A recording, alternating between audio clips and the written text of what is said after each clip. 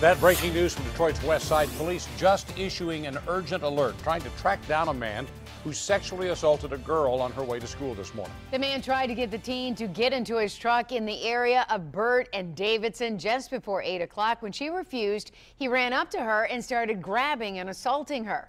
She was able to break free and get with an adult who walked her to school. Now, that suspect is described as a black male, mid 30s, six foot tall, 180 pounds, with a bushy uh, mustache and a dark navy ball cap, wearing blue jeans.